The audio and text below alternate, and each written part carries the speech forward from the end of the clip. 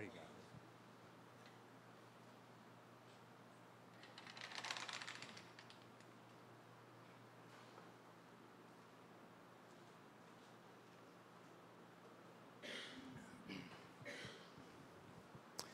Meus queridos irmãos, que a paz do Senhor nos envolva a todos nesta noite. Nós temos lá na nossa casa um departamento que cuida de animais, que se chama fauna. Apanha os animais nas ruas que estão abandonados, curam-nos, castram-nos e depois doam os animais no Carrefour e em outros locais aqui de São José do Rio Preto. Nestes longos anos que fazemos esse trabalho, nós já doamos mais de 3 mil animais. Logicamente que a proposta é de cuidar desses irmãos menores.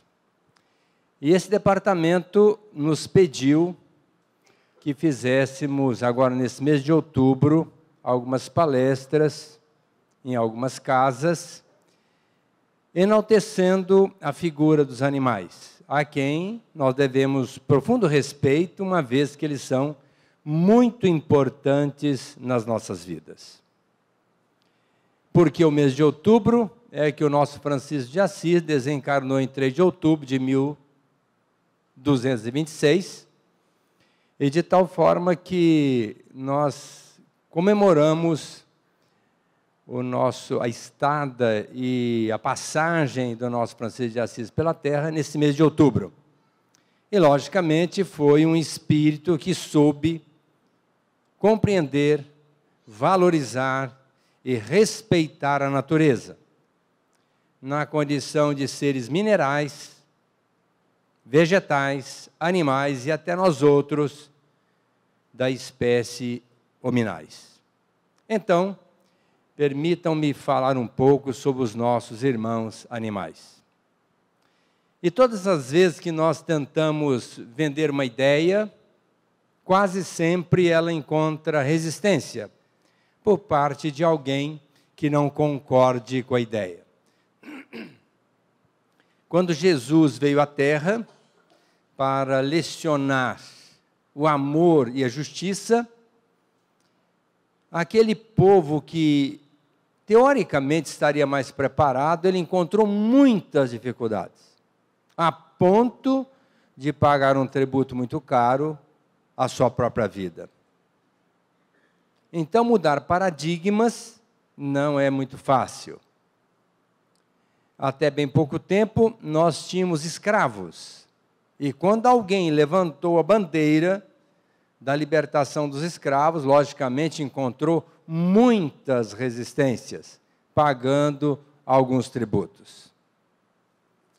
E falar dos animais, advogar a causa dos animais, também não é tão simples, porque muitas pessoas acham que isto não está muito de acordo, sendo que tem tantas outras causas primaciais que devam ser tratadas e até defendidas. Mas, quando Kardec questionou na pergunta 597 do Livro dos Espíritos, percebendo que os animais têm inteligência, se havia algum princípio que comandava, norteava essa inteligência.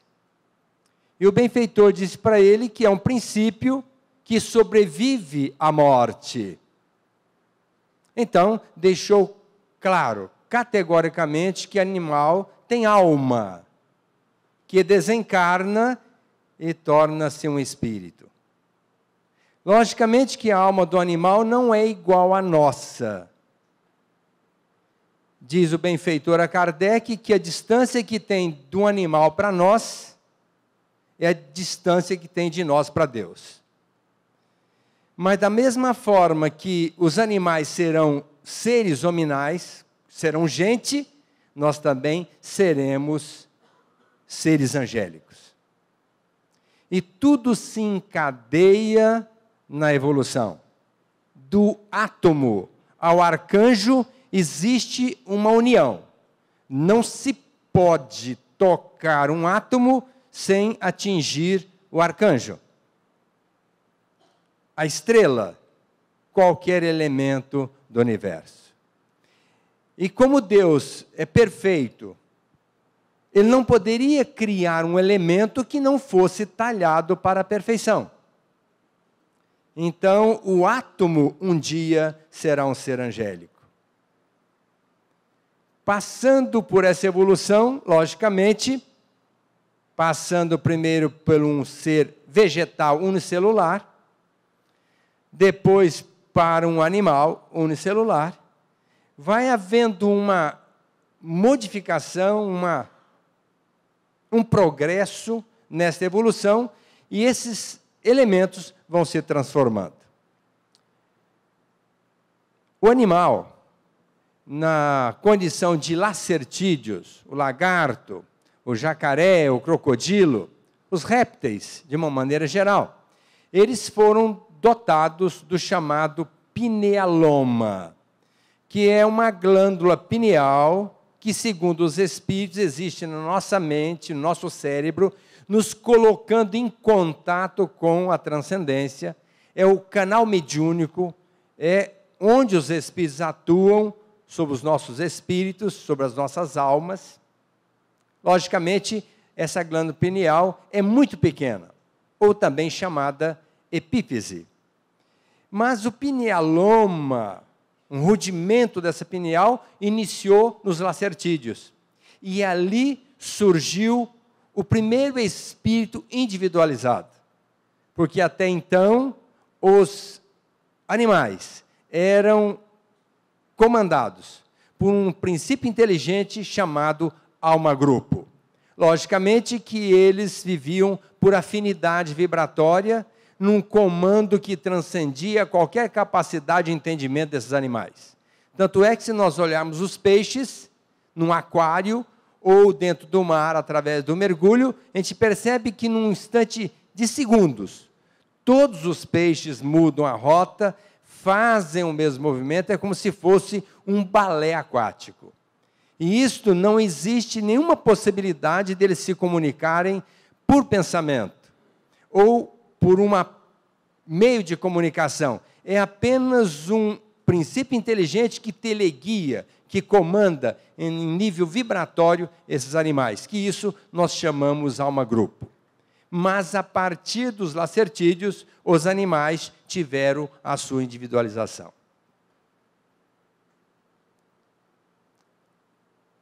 Quando os animais se reproduzem, o cachorro será sempre cachorro, a ave será sempre ave, o cavalo será sempre cavalo e o macaco será sempre macaco. Mas os espíritos gradam de espécies para espécies. Pode ser um espírito hoje que anima um cachorro, adquirindo um nível de inteligência, ele pode amanhã animar um, um, um corpo de um cavalo ou pode animar um corpo de um macaco, ou de qualquer um outro ser inteligente. Porque o espírito vai evoluindo, vai melhorando a sua inteligência e o seu cérebro também vai aumentando. Para atender a demanda deste princípio inteligente. No sul da África, há 3 milhões e meio de anos atrás, existia um macaco chamado Australopiteco. Austra significa sul, piteco, macaco. Então, Australopiteco é um macaco que viveu no sul da África há 3 milhões e meio de anos atrás. Ele foi levado ao plano espiritual, modificado o seu perispírito, e ele permitiu que surgisse a partir daí o ser humano. Logicamente, num aspecto ainda macacoide, porque o homem, ao vir logo em seguida, evidentemente, não tinha o corpo que nós temos hoje. Era um corpo muito semelhante ao macaco. E, por sinal, andava ainda praticamente de quatro patas. Depois foi se erguendo, quase tocando as patas dianteiras no chão, foi se equilibrando, foi assumindo uma postura erecta e foi se transformando. De tal forma que há cerca de dois milhões de anos atrás, surgiu o primeiro ser considerado um homem, o chamado Homo habilis, porque era um ser humano ainda muito rudimentar, muito atrasado, que apenas sabia manusear com habilidade alguns instrumentos. Fazendo fogo na caverna, batendo pedra com pedra, construindo armas de defesa, fazendo alguns outros instrumentos de extrema necessidade e até mesmo buscando trabalhar para adquirir o seu sustento. O Australopithecus tinha à época um cérebro de 450 gramas já o Homo habilis já veio com um cérebro de 650 gramas. Para um mil anos depois, surgir o Homo, o Homo erectus. Mil anos depois, já com um cérebro de 900 gramas. Cerca de mil anos depois, a quase mil anos depois, há 600 anos atrás, surgiu o chamado Homo sapiens, cujo cérebro foi para 1.300 gramas. Agora, recentemente, entre 40 e 100 mil anos atrás, surgiu o, homo, o homem chamado Homo sapiens sapiens cujo cérebro foi para 1.300 gramas a 1.500 gramas, que é o nosso cérebro até o dia de hoje. Logicamente que até os primatas, esses seres que nós consideramos os primeiros elementos a receber os espíritos, os lacertídeos, tinha o chamado cérebro reptiliano, que era um cérebro formado da nossa medula, que está aqui na nossa coluna vertebral. Nós temos o nosso cerebelo, o bulbo, e temos junto a ele o sistema límbico, que é o centro da emoção. Então, esta medula, o bulbo, o cerebelo e mais esse sistema límbico compõem o cérebro reptiliano, que era desses elementos primários que receberam a condição da individualização do espírito. Quando surgiu o ser racional, ou seja, o homo, homo sapiens, já esse cérebro desenvolveu e surgiu o córtex cerebral, que já dá a condição de nós nos tornarmos sensíveis e temos uma reação racional. Portanto, a nossa evolução começa no mineral. Há um aforismo que diz que nós dormimos no mineral, acordamos no vegetal, sentimos no animal, racionalizamos no ser humano e divinizamos nos seres angélicos. Isto é uma evolução básica, sine qua non para todos nós. Na medida em que o homem foi desenvolvendo, ele foi ampliando o seu lobo frontal, porque nós temos os parietais, os temporais e o frontal. E esse lobo frontal é o responsável pela nossa condição de buscar alguma coisa transcendente, de aspirar algo essencial. Tanto é que o macaco tem a testa chata, até um pouco retrógrada. Mas na medida em que surgiu o homem, podemos ver na ontogênese, na ontologia, que o primeiro ser humano que surgiu, ele já tinha uma pequena testinha, onde alberga o nosso lobo frontal. Na medida em que o homem foi evoluindo, a testa foi se alargando e o lobo frontal foi se projetando para a frente, dando condições para que aqui surja um elemento do cérebro que faz com que o homem aspire algo transcendente, algo superior, algo essencial que não é propriedade dos seres irracionais dos nossos irmãos menores, chamados animais irracionais. Muito embora tenha animais mais inteligentes que homens.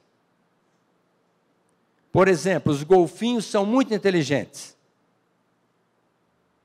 O cavalo, muito inteligente. O cavalo tem inteligência, quando bem usada, em nível de um jovem adolescente, podendo aprender coisas maravilhosas, fantásticas. E nós sabemos que quanto maior o cérebro, maior a inteligência. Em tese, porque o elefante é muito inteligente, mas não é mais inteligente do que o homem. No entanto, seu cérebro é muito maior. O golfinho tem um cérebro muito grande, é muito inteligente, mas não é mais inteligente do que o homem.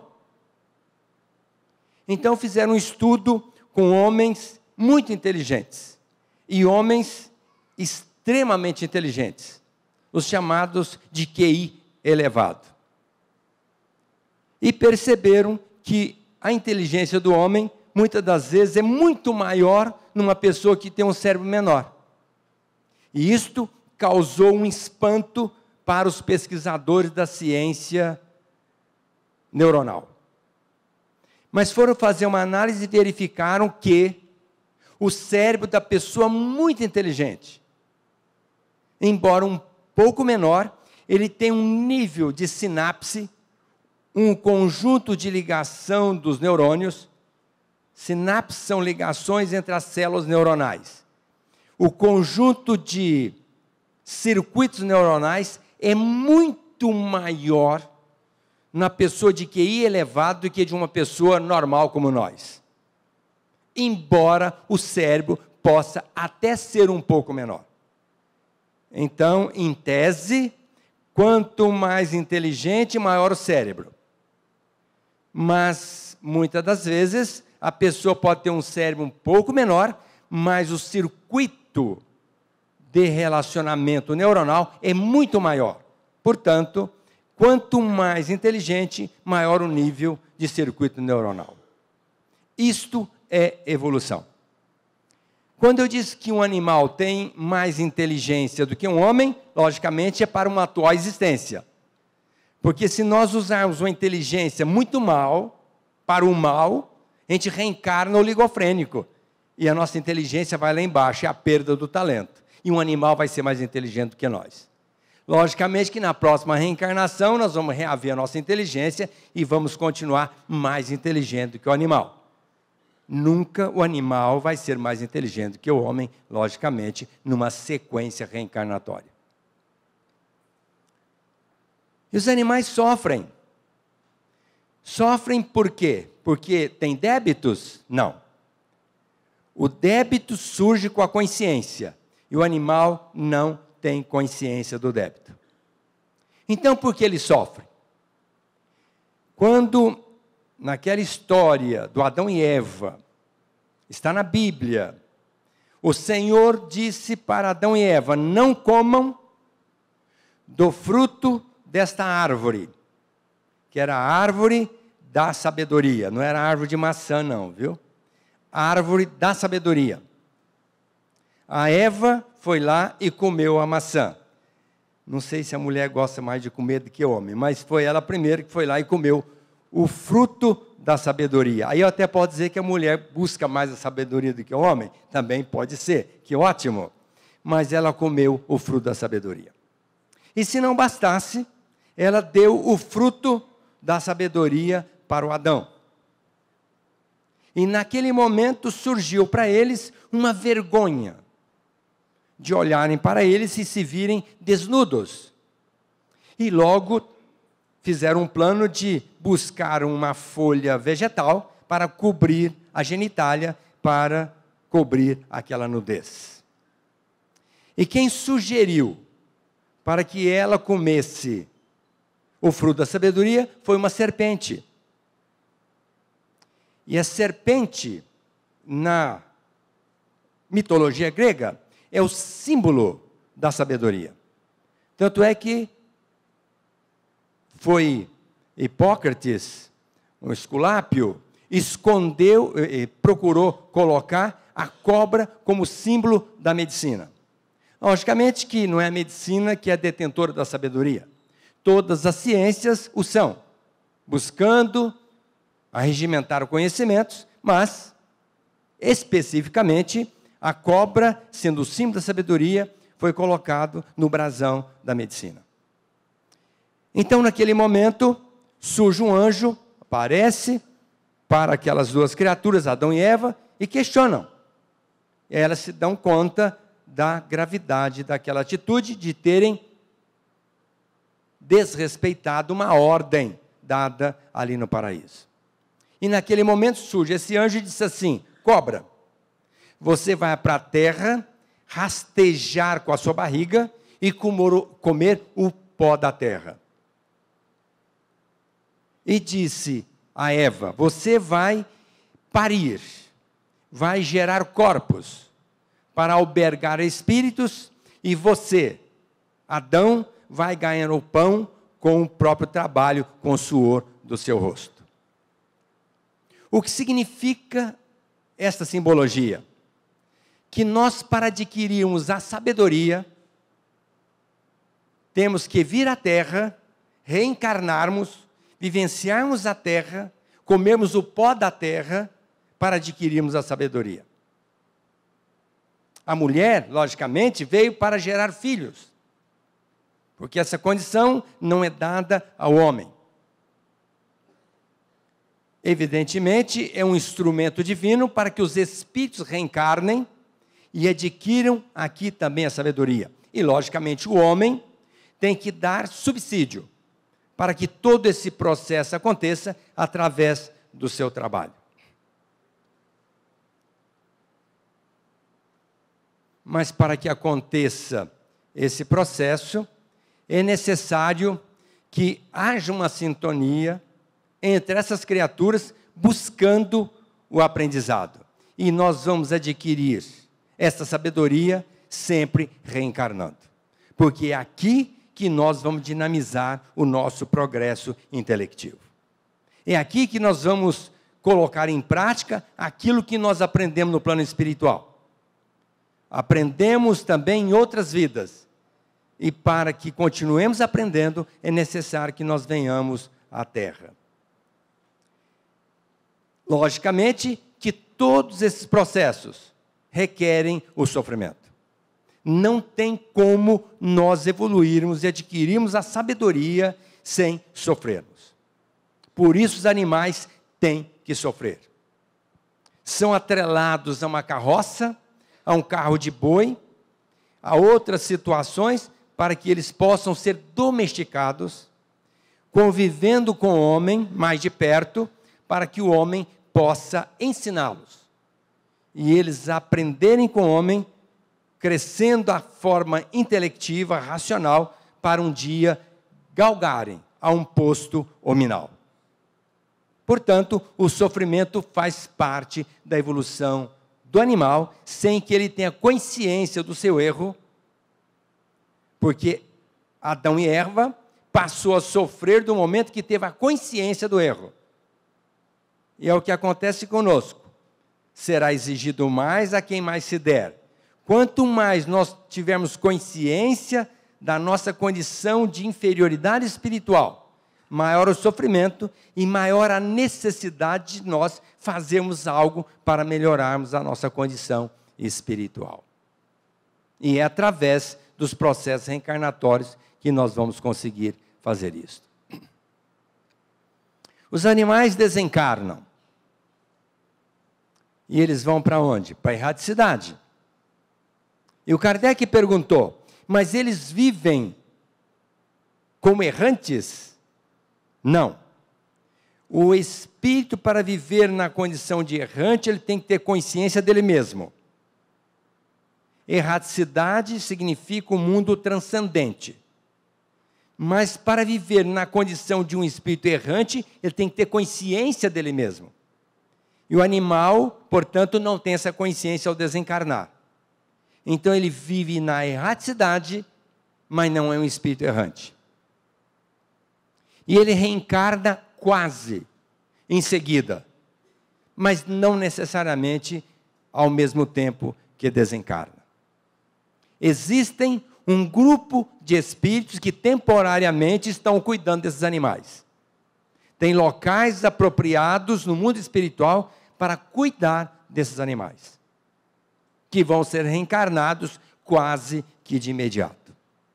Alguns ficam aqui mesmo na terra, convivendo com aquele que foi seu dono, com quem ele tem uma afinidade muito grande vibratoriamente. Divaldo Pereira Franco foi fazer uma palestra em Mato Grosso, foi recepcionado pela presidente da Sociedade Espírita de, de, de, do Mato Grosso, e chegando lá, entrando na casa daquela senhora, ele se assustou e chegou até a gritar. E todo mundo se assustou também, e ele perguntou: Vocês não viram o cachorro que veio e colocou as patas no meu peito?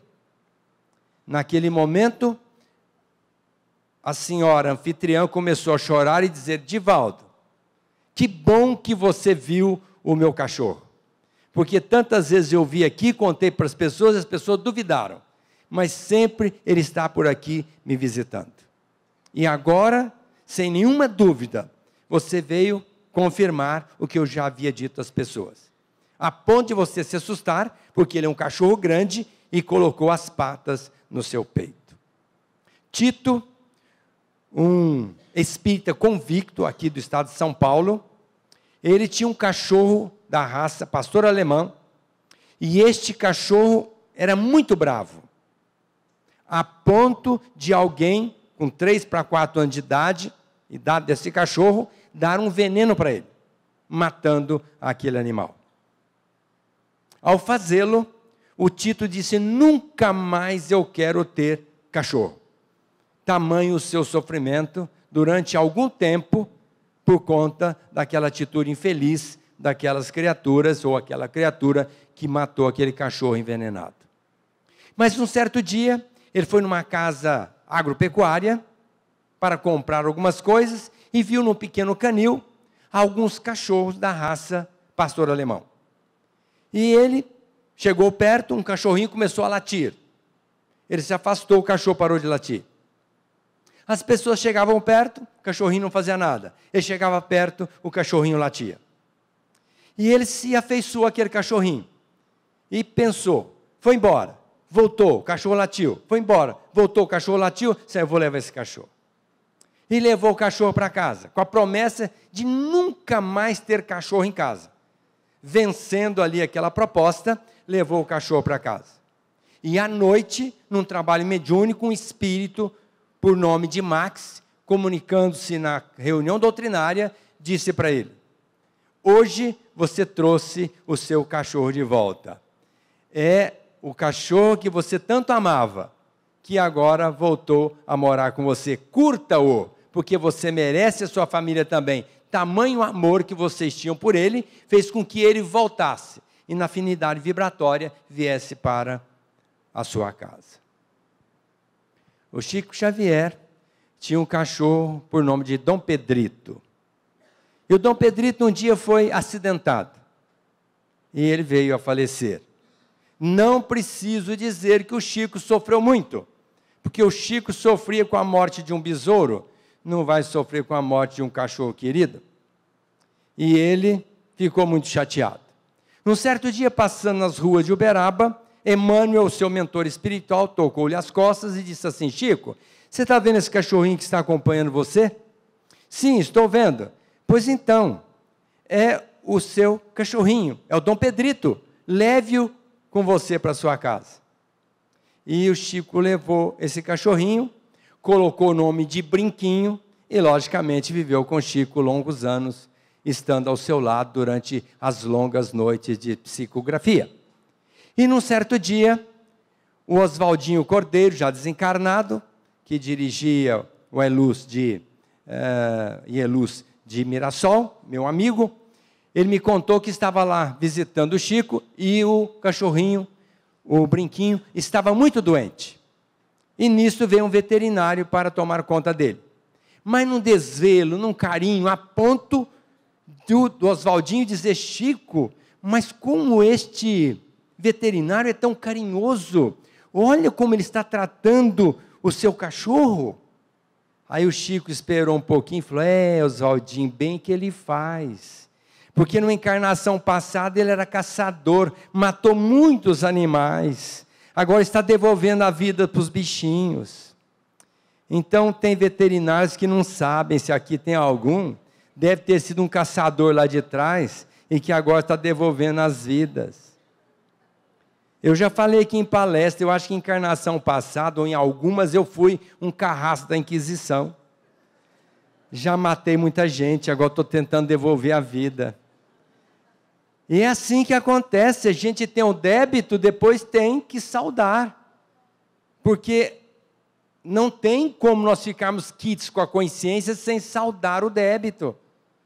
Então não façamos nada com os animais. Por exemplo, tem gente que faz eutanásia, mata o animalzinho enquanto ele está doente. Por que razão? Enquanto ele era bonitinho, banava a caldinha, mostrava o seu sentimento, vinha, nos alegrava, fazia com que a gente esquecesse dos problemas da vida. A gente tratava com muito carinho, muito amor. Agora ele ficou doente, faz xixi e cocô no, no colchãozinho ou no, no próprio chão, e nós achamos que é muito trabalho. Já não temos a pachorra, a paciência de dar-lhe o remédio, ficar com ele às vezes à noite e nós achamos por bem de matá-lo. A gente sabe que o animal deve ser tratado como um filho, logicamente, com carinho, com afeto, com atenção, levando ao veterinário, fazendo as vacinas, dando comida, remédio na hora certa, procurando acobertá-los na época do frio, respeitá-los como seres que são espíritos como outrora fomos, que certamente foram também tratados de uma maneira à semelhança, senão por conta da ignorância dos nossos antepassados. Mas nós já temos conhecimento suficiente para entendermos que devemos tratá-los assim agora. E nós matamos uma pessoa quando está doente, em fase extremada? Logicamente que não. Ainda tem lugares que praticam eutanásia, que é um crime pelo que essas pessoas ficarão responsáveis. Então, nós não devemos praticar eutanásia destes animais. Contudo, às vezes até alguém que advogue esta causa dizendo que aquele animal vai sofrer muito, mas tem outros meios de fazer com que o animal não morra ou pelo menos tenha sua vida prolongada sem eutanásia. Só que dá muito trabalho e as pessoas não querem ter o trabalho e se justificam e matam o animal. E quando esse animal está sofrendo, ele está progredindo, aprendendo conosco, com o nosso afeto, com o nosso carinho, com a nossa paciência, com a nossa tolerância, com a nossa abnegação, com a nossa indulgência, esses espíritos dos animais, dos animais estão aprendendo. Como no reverso, nós também estamos aprendendo com eles nessa dedicação exclusiva numa situação extremada. Portanto, eutanásia nem pensar.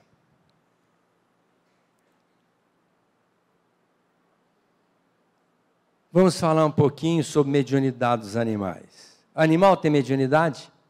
Não tem. Porque o fluido do animal é diferente do nosso.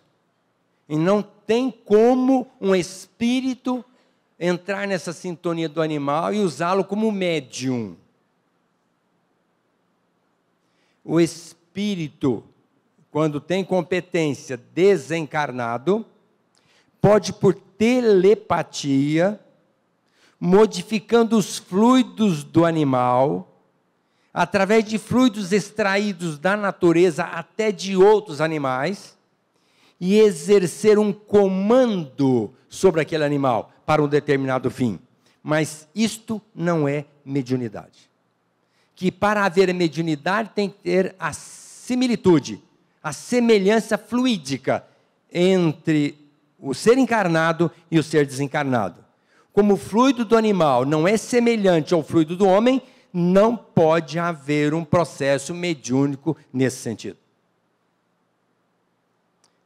Já sabemos de história de uma criança que estava sendo agredida por um pitbull. E uma cachorrinha avançou no pitbull, foi agredida violentamente, mas salvou a criança. O que aconteceu? Logicamente, os espíritos amigos entraram em sintonia com aquela cadelinha por modificação fluídica e sintonia mental e fez com que ela avançasse no pitbull para salvar aquela criança. Isso os espíritos podem fazer via telepática, mas não via mediúnica. Evidentemente que aquele animalzinho, tendo inteligência, poderia até raciocinar num determinado momento. Se eu agredir esse cachorro, mais forte do que eu, ele pode liberar a criança. É possível até que ela, na sua condição de inteligência, pudesse fazer esse raciocínio e salvar aquela criança. Mas é mais provável que ela foi usada para agir assim. E isso não é instinto. Porque se fosse instinto, ela teria o instinto da preservação sabendo que sendo uma cadelinha, enfrentando um pitbull iria morrer, logicamente que ela iria correr e não enfrentar o pitbull, que o problema não era com ela, era com a criança. Então o animal usou a inteligência, ou até mesmo por via telepática foi influenciada essa cadelinha para salvar aquela criança. Então os animais têm um nível de inteligência até razoável são os pensamentos descontínuos.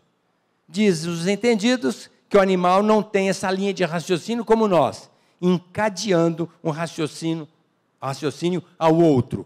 Mas nós entendemos que até pode associar alguns pequenos raciocínios continuados. Porque a gente sabe que os animais têm muito conhecimento. Alguns pesquisadores estiveram ensinando uma macaca, chamada Washor. Essa macaca, ela aprendeu até a linguagem dos cegos e comunicava com seus instrutores por essa linguagem dos cegos. E ela foi além. Ela ensinou a sua prole, ou seja, aos macaquinhos, filhos dela, e se comunicava com eles também através dessa linguagem.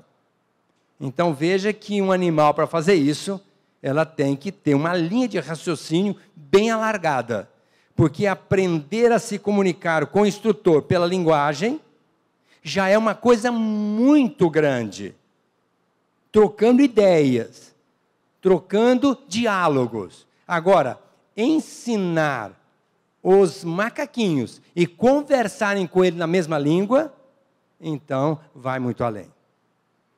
Os animais têm fala? Eles falam como nós? Logicamente que não, mas eles têm um elemento de comunicação entre eles. Os mudos falam uns com os outros? Não. No entanto, eles se comunicam de alguma forma, por gestos ou por algum elemento, eles se comunicam. Então, os animais também se comunicam entre eles, numa linguagem própria do animal. Evidentemente que o papagaio repete o que nós falamos. É uma capacidade glótica que ele tem de repetir o que nós falamos. Periquitos, papagaios. Os macacos nos copiam nos gestos, nas atitudes, então eles copiam a gente também, mas não falam de tal forma que os animais estão um passo para chegar à condição humana. Evidentemente que do Australopithecus para o primeiro ser humano demorou cerca de um milhão e meio de anos. Então, para chegar um animal desse a esta condição, talvez demore um milhão e meio de anos. Nós não vamos esperar que na encarnação que vem o cachorro já vai pular de, de espécie, que na outra, na outra, daqui três, quatro encarnações o cachorro já vira gente. Não é. Isso é coisa de milhões de anos, mas há tudo um encadeamento racional para que isto aconteça. E até quem coma carne de animal. Vocês conhecem alguém? Infelizmente, ainda quase todos nós comemos a carne do animal. Houve época que homem comia homem. E hoje nós pensamos, meu Deus, que coisa mais maluca do mundo. Um homem comia o outro? Lógico. Comia. Para sobreviver. Isso não é uma coisa muito da antiguidade, não. É coisa recente entre os primatas, entre os nossos índios. E nós hoje abominamos essa ideia. Evidentemente que nós vamos evoluindo e vai chegar uma hora que nós vamos dizer: o homem comia animal? Que absurdo! Mas essa pergunta que Kardec fez para os espíritos: se o homem pode comer o animal? E ele disse que sim. A nossa condição humana ainda precisa da carne do animal que foi criada para nos atender. Mas, Emmanuel na pergunta do livro Consolador, 192, ele disse assim: O homem ainda come carne, mas isso lhe traz profundos prejuízos no perispírito. Então nós temos que começar abrir mão desta carne animal que nós comemos. Nosso lar, quando foi criado, muitos espíritos desencarnados que lá trabalhavam criaram um problema para o governador do nosso lar, porque queriam comer carne. Uma vez que ele já estava convidando aquelas criaturas para apenas tomar uma sopinha de vegetal, um suquinho de maçã ou coisa correlata. Mas eles criaram tanto problema querendo comer a carne que comiam aqui na terra. É porque nós comemos carne lá também. Ivone Pereira, Devassando Invisível, ela fala de uma mulher que estava nas trevas, cozinheira, cozinhando para os espíritos trevosos. Pratos apetitosos, inclusive de carne, para eles comerem. Então, quando o espírito vai evoluindo, ele vai sendo convidado a não comer mais carne. E trouxeram tanto problema para o governador do nosso lar que ele teve que trazer espíritos de esferas mais elevadas para darem curso para aqueles trabalhadores da cidade do nosso lar, no mundo espiritual, para que eles entendessem que deveriam voltar agora a atenção para outro tipo de alimentação. André Luiz, missionário da luz, falou que nós um dia vamos entender que o estábulo vai ser considerado um reduto quase que doméstico porque lá está a Nossa Senhora e Irmã Vaca, que nos dá o leite, que nos dá o queijo, nos dá o requeijão e tantas outras preciosidades. E disse que nós já temos um nível de entendimento para criarmos alimentação que faz com que o homem prescinda da carne para sobreviver. E hoje nós sabemos que as castanhas são muito ricas em nutrientes para a nossa alimentação. Os vegetais, as frutas. Nós comemos carne porque somos acostumados, atavicamente.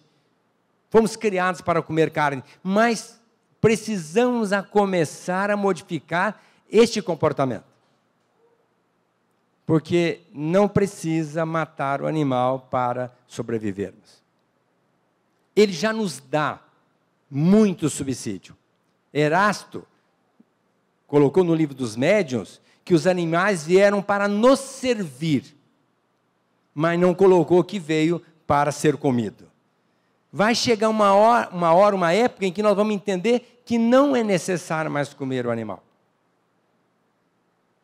E mesmo porque está provado cientificamente que o vegetariano vive mais do que quem come carne.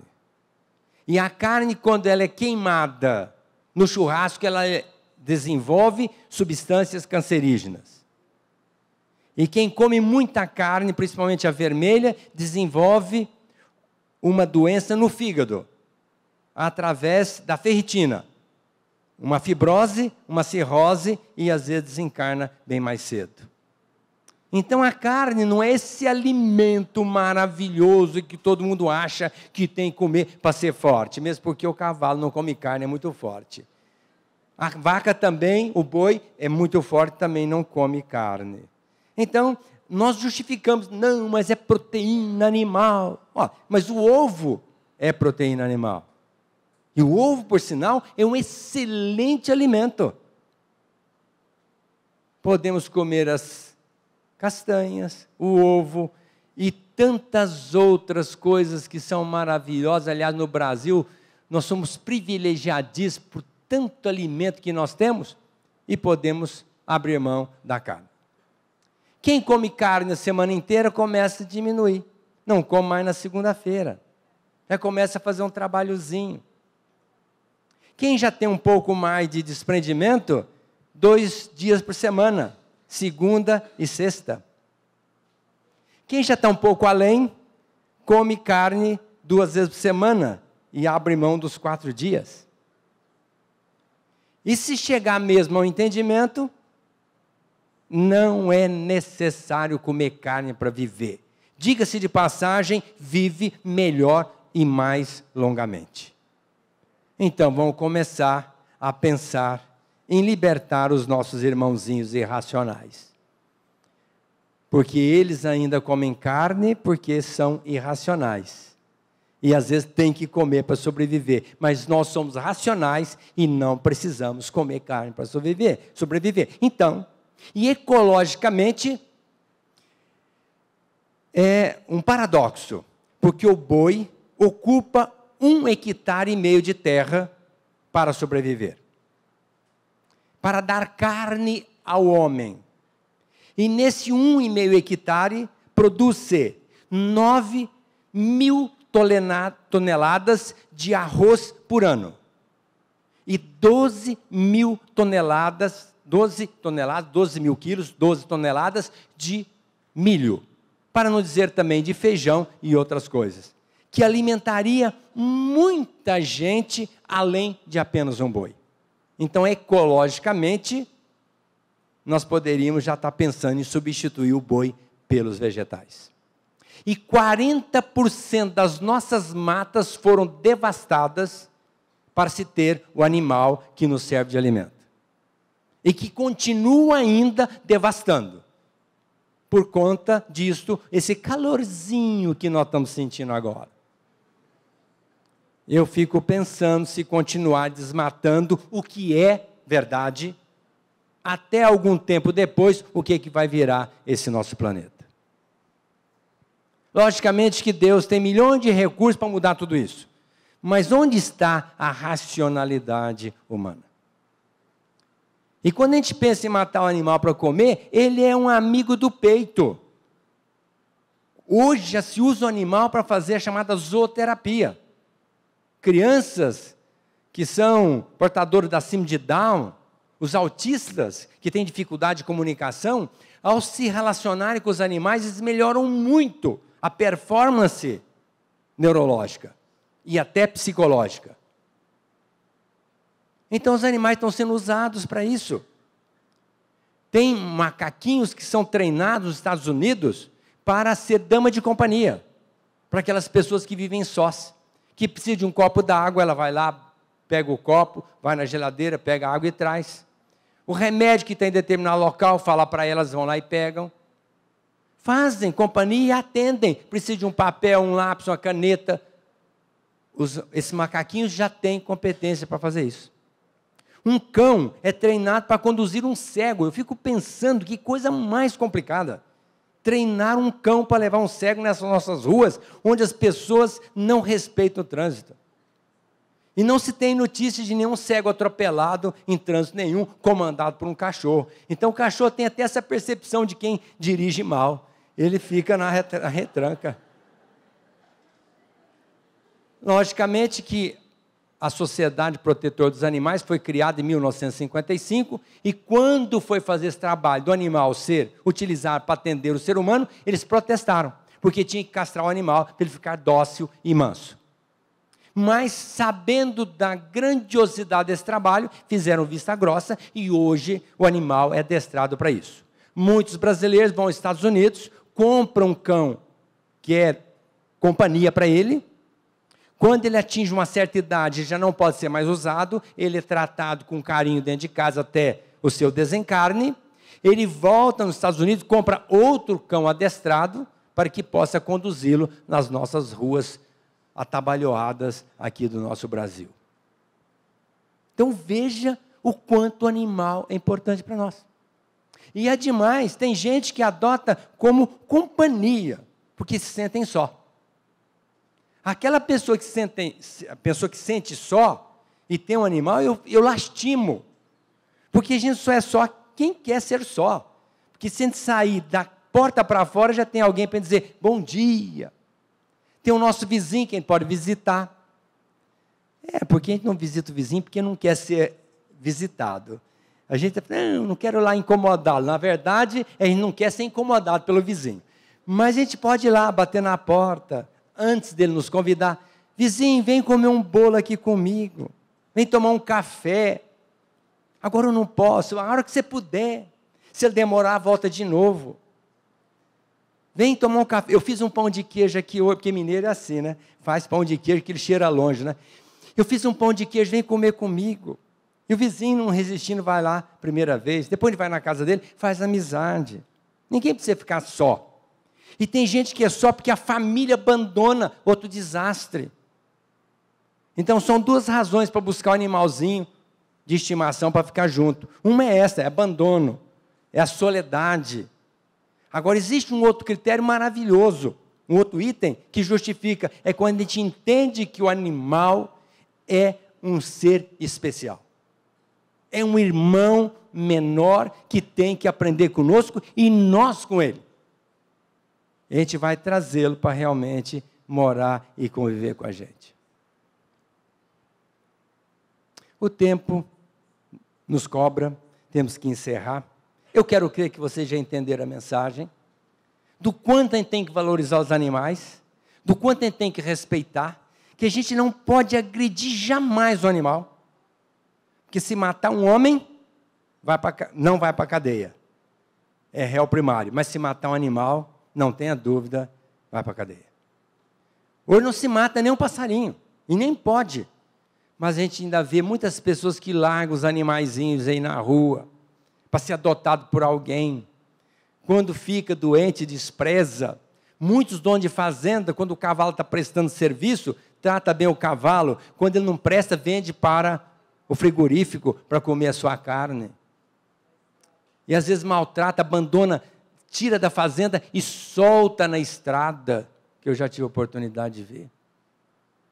Quantas vezes brinca de uma maneira desrespeitosa, pegando um macaco, jogando uma bomba, para ele pegar e colocar na boca achando que é um cigarro, para explodir, que eu já sei que gente fez isso. Marrando palha no rabo, na cauda de um gato, para ele sair correndo com aquela palha com fogo atrás. E eu posso enumerar uma série de absurdidades que ainda as pessoas fazem com os animais. Onde está a sensibilidade dessa criatura que ainda permite que o animal seja maltratado. Então, daqui para frente, eu espero que vocês, que já tinham um carinho especial pelos animais, passem a ter um carinho redobrado e comecem realmente a vê-los como nossos irmãos que merecem o nosso mais profundo carinho. Porque do momento que o benfeitor disse a Kardec que a distância nossa para eles é a nossa distância para Deus, a espiritualidade nos cuida com muito apreço, com muito carinho, com muito amor, apesar das absurdidades que nós nos permitimos fazer. então, da mesma forma, nós devemos agir com os nossos animais, irmãos, entre aspas, irracionais. Muita paz.